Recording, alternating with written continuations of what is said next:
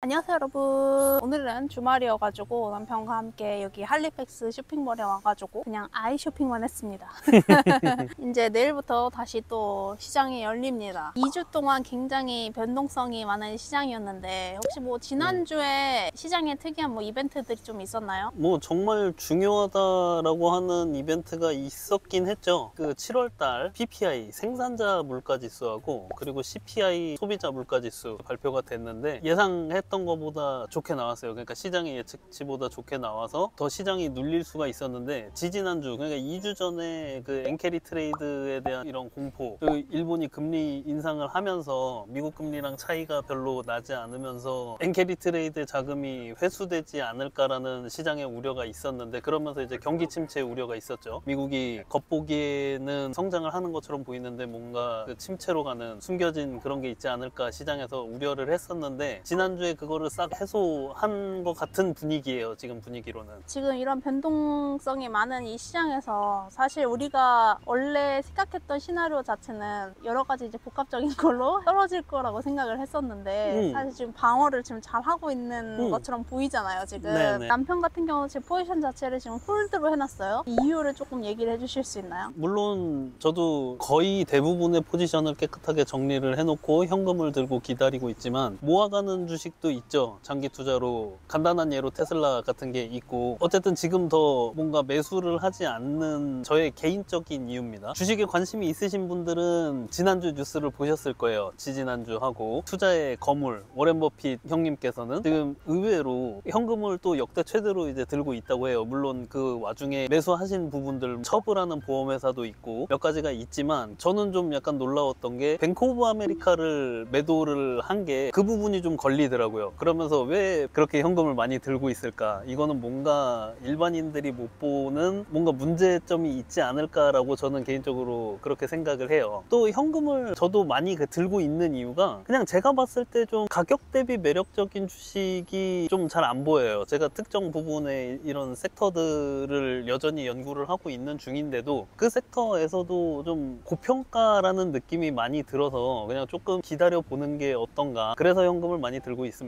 우리 아까 워런 버핏 얘기가 나와서 한 말이지만 이번에 굉장히 특이한 상황으로 뷰티 주식을 사셨더라고요. 굉장히 좀 이례적인 일이라고 하더라고요. 음, 개인적인 생각으로는 워렌 버핏이 화장품에 투자를 했다는 거는 뭐 이례적인 일이 맞고 근데 뭔가 공부를 하셨겠죠. 그 매수하신 기업에 대해서. 그래서 기업 펀더멘탈이 생각보다 발전 가능성이 있고 좋다라고 판단을 해서 하지 않았나. 근데 이게 일반인들이 따라 하기에는 좀 무리가 있을 수 있지 않 을까 생각해요 왜냐면 워렌 버핏 같은 사람은 일반인들이 얻는 정보의 그런 품질과도 차이가 많을 거고 어떤 특정 화장품 기업뿐만이 아니고 어떤 기업을 매수할 때 워렌 버핏 같이 자본이 많은 사람들은 일반적으로 그냥 주식만 취득하는 게 아니라 거기에서 나오는 그 옵션 같은 별도로 돈을 벌 수 있는 방법들이 많아요. 이자라든지 일반인들 같은 경우에는 8%만 낼 수 있다라고 했을 때 근데 버핏은 그 주식 수익 8% 플러스 뭐 이자, 배당금 그리고 뭐 주주로서 받는 이제 그런 프리미엄들이 있기 때문에 그래서 같은 접근을 하는 거는 좀 위험하지 않을까라고 개인적으로 생각을 합니다. 그리고 워렌 버핏이 장기 투자만 한다라고 생각하시는 분들이 많은데 그렇지 않아요. 버핏도 자세히 보면은 단타로 하는 종목들이 있단 말이에요. 근데 우리가 그거를 잘 캐치를 하지 못해서 그렇지. 그래서 버핏이 담으니까 나도 장기로 투자해야지라고 생각하고 어떤 특정 종목에 한해서 투자를 하게 된다면 실수할 수 있어요. 그래서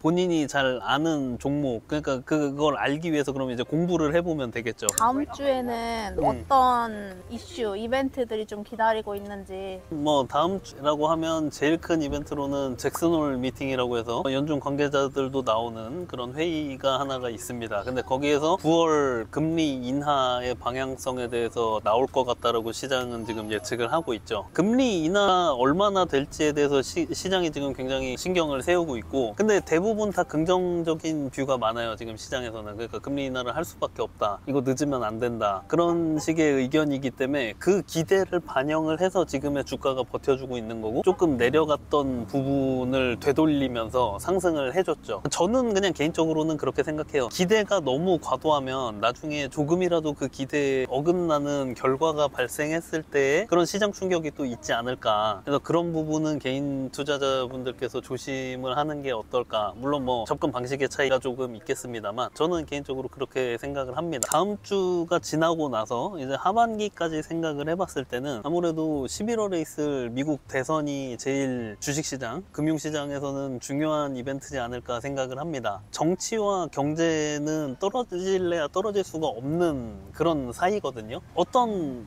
수장이 어떤 식으로의 경제 정책을 방향을 잡느냐에 따라서 주식시장도 많이 변화를 타고 특히 이제 기 업들이 돈을 벌 수 있는 방법, 뭔가 제품을 개발하고 미래 먹거리를 향해서 나아가는 방향성들이 많이 달라지기 때문에 대선 이슈가 제일 클 거라고 생각을 합니다. 얼마 전까지만 해도 트럼프가 한번 그 총격 사건이 있었잖아요. 그 유세 중에. 그래서 그때까지만 해도 사람들이 전부 다 생각하기를 아 이거 이번 그 대선은 끝났다. 거의 뭐 트럼프가 될 거다. 그런 사람들이 많았단 말이에요. 근데 이게 생각보다 그 피격 시점부터 지금 대선까지 기간이 생각보다 많이 남은 거예요. 언론에서도 얘기한 게 순수 대선 러닝 당일 날까지 남은 게 100일 정도 된다고 하더라고요. 그러면 생각보다 100일이라는 거는 유권자들이 마음을 결정하는 방향에 있어서는 변수가 많은 시기인 거죠. 그러니까 그렇게 변경이 될 수 있을 만한 시기이기 때문에 향방은 모르겠다라고 얘기를 할 수 있겠지만 이게 또 트럼프 같은 경우에는 shy 트럼프라고 해서 숨은 표가 뭐 많다라고 얘기를 하더라고요. 변수가 있을 것으로 생각이 됩니다. 또 해리스는 해리스 나름대로 자신의 그 강점을 가져 가면서 지금 상당히 돌풍을 일으키고 있단 말이에요. 바이든에 비해서는. 그렇기 때문에 지켜봐야 될 것 같고 그리고 미국의 선거 방식 때문에 향후 결과를 더 예측하기가 힘들어요. 그러니까 다른 나라들 같은 경우에는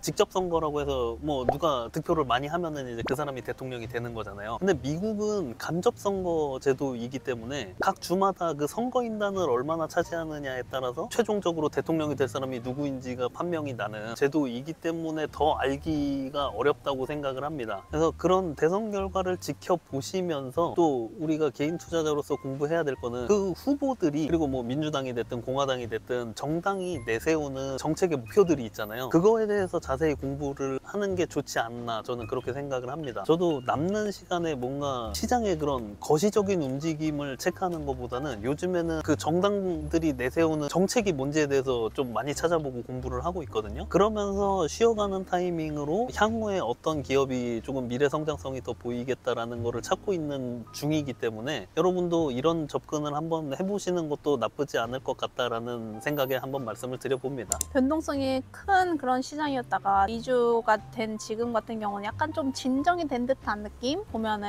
음. 진정이 좀 되는 시장 같다. 음. 매수세가 점점 올라오고 있다라고 음, 이렇게 음. 막 얘기를 하잖아요. 음. 남편 같은 경우는 지금 같은 이 시장에서 어떻게 생각합니까? 어, 개인 투자 자로서 그리고 저는 포지션을 비워놓은 상태였으니까 이 지난 2주간 변동폭이 클수록 뭔가 보는 재미도 있고 그건 막 거래량이 갑자기 막 폭증했다가 줄었다가 막 이러니까 그런 거를 관찰하면서 보는 그 사람 심리에 대해서도 보고 그리고 그럴 때마다 기업이 어떻게 움직이는지 이런 거를 관찰하는 일이 상당히 재밌단 말이에요. 만약에 포지션이 있는 분들이고 현재 지금 long 포지션인데 너무 생각보다 많이 담겨 있거나 아니면은 의도하지 않은 주식을 그냥 이렇게 잠깐 단타로 해볼까 했는데 내려간 분들한테는 굉장히 지금 힘든 시기 일 수 있겠죠. 음. 이 변동성이 클 때는 사실 단타를 할 때는 좋은 장이에요. 변동성이 있어야 뭐 단기간에 움직였을 때 내가 어느 정도 이익을 보고 이, 이럴 수가 있는 거잖아요. 횡보를 하면 답이 없으니까. 단타로 투자를 하는 접근에 있어서는 좋은 시기이긴 하지만 근데 또 반대로 생각했을 때는 장기 투자자분들한테는 약간 좀 헷갈릴 수도 있는 장이지 않을까 생각이 들어요. 하방으로 확실하게 내려간다 그러면은 계속 뭐 분할 매수로 해가지고 조금씩 모아가면서 그 자기가 표했던 주식들을 모아가는 시기가 될 수도 있겠지만 또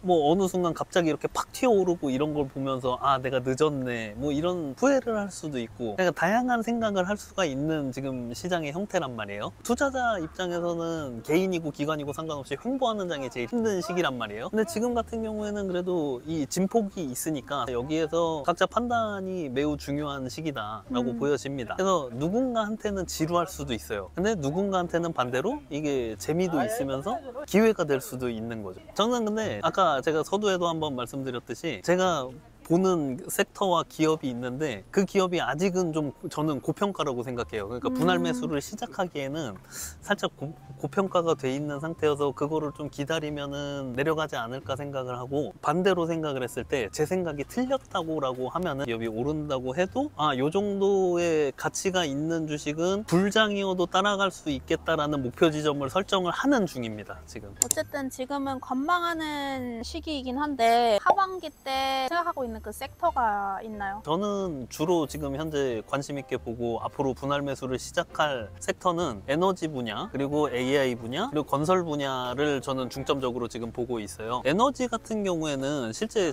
제가 여기 북미 지역 살면서도 에너지 공급의 부족이 생길 수밖에 없겠다라는 거를 체감하고 있어요. 음. 이 땅덩이가 워낙 넓은 상태에서 AI 관련 기업들이 너무 급속도로 부상을 하다 보니까 전력 사용량이 당연히 많을 수밖에 없죠. 그리고 실제 저희가 살고 있는 지역에서 저는 처음 봤는데 테슬라 거의 그 전기 저장 충전 장치를 봐가지고 아 이게 진짜로 얘네들이 그런 식으로 미래를 위해서 준비를 해가고 있구나. 이거를 눈으로 보고 나니까는 에너지 산업이 더 좋게 보이는 거죠. 꼭 전기 에너지만이 미래다라고 볼 수는 없고 완전히 넘어가는 데까지는 과도기적인 시간이 필요하기 때문에 그래서 화석 에너지를 주로 다루고 있는 기업들도 좋다라고 생각을 합니다. 그리고 AI 같은 경우에는 여러분들도 이미 다 잘 아시니까 그런 빅테크들이 잘 하고 있죠. 지금 걱정되는 거는 투자 비용이 많이 들어가는데 그 투자 비용 대비 과연 이윤을 뽑을 수 있을 것인가? 시장이 그것을 많이 걱정을 하고 있죠. 저 역시도 많이 걱정을 하고 있는 부분이고. 그래서 지금 기술주를 아직은 담고 있지 않아요. 왜냐면 제가 이렇게 대응을 안 하고 있는 이 무대응 상태도 투자를 안 하고 있는 게 아니에요. 많은 분들이 착각을 하시는데 뭔가를 꼭 사야만 투자를 하고 있고 내가 그 기업과 발맞춰 가고 있다라는 게 아니죠. 개개인마다 투자에 맞는 시간이 있고 타이밍이 있는 건데 그래서 너무 급하게 생각하지 않으셨으면 좋겠어요. 대응을 해야 되는 순간에만 대응을 하면 되는 거지 너무 지나치게 앞서갈 필요도 그렇다고 뒤에 갈 필요도 없다라고 저는 개인적으로는 그렇게 생각을 합니다. 저도 뭐 10년 이상 주식 투자를 해오면서 이 시장에서 오래 살아남았지만 시장이라는 것은 항상 뭐 오르는 것도 있고 내리는 것도 있고 횡보할 때도 있고 여러 가지 상황이 펼쳐지고 각종 경제 요소들로 인해서 변화가 있는 법이지만 제일 중요한 거는 결국에 는 생존입니다. 오래 살아남을수록 더 많은 기회를 접할 수 있고 돈을 벌 수 있고 그리고 여러분이 목표하는 그런 지점으로 한 발짝 더 나아갈 수 있지 않나 생각을 합니다. 남들과 비교하지 마시고 여러분의 환경에 맞는 그런 투자를 하시면서 성공 투자를 하셨으면 좋겠습니다. 네, 오늘 영상도 함께 해주셔서 감사드리고요. 다음 영상으로 돌아오도록 하겠습니다. 안녕. 안녕.